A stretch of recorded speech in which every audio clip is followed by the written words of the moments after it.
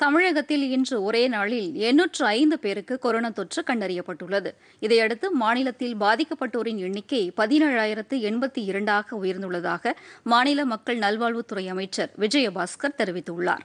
சென்னையில் இன்று செய்தியாளர்களிடம் பேசிய அவர் சென்னையில் மட்டும் இன்று ஐநூற்று நாற்பத்தி ஒன்பது பேருக்கு தொற்று கண்டறியப்பட்டுள்ளதாக தெரிவித்தார்.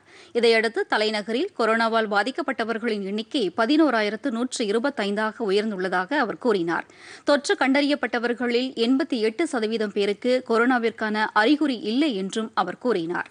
மாநிலத்தில் இன்று நானூற்று ஏழு பேர் குணமடைந்ததை அடுத்து ஒட்டுமொத்தமாக குணமடைந்தோரின் எண்ணிக்கை எட்டாயிரத்து எழுநூற்று முப்பத்தி ஒன்றாக உயர்ந்துள்ளதாக அமைச்சர் கூறினார். நாட்டிலேயே தமிழகத்தில் நான்கு லட்சத்து இருபத்தி ஓராயிரம் பேருக்கு கொரோனா பரிசோதனை மேற்கொள்ளப்பட்டுள்ளதாக அவர் தெரிவித்தார். இன்று ஒரே நாளில் ஏழு பேர் உயிரிழந்ததை அடுத்து உயிரிழந்தோரின் எண்ணிக்கை நூற்று பதினெட்டாக உயர்ந்துள்ளதாக தெரிவித்த அவர் எனினும் ஐம்பத்தி ஒரு புள்ளி ஒன்று ஒன்று சதவீதம் பேர் குணமடைந்துள்ளதாக கூறினார்.